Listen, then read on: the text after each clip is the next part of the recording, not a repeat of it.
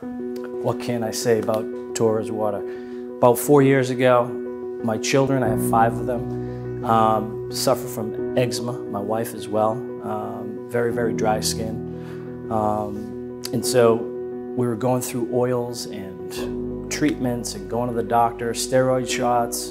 Um, and three years later, um, because we got the water system and the soft water, it, it, it helped my family tremendously.